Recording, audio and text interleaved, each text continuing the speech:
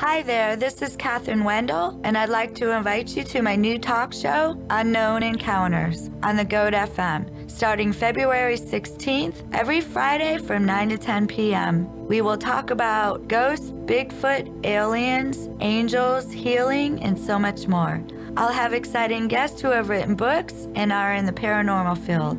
Listeners will be invited to call or text in with their own stories and questions. You can even join us with Facebook Live on the GOAT FM. I've had paranormal experiences all my life and have helped many people. I have also run the Ocala Ghost Walks and historical tours for nine plus years, and I know that people are hungry for knowledge on all things paranormal. I look forward to being able to share unknown encounters each Friday night from 9 to 10 p.m.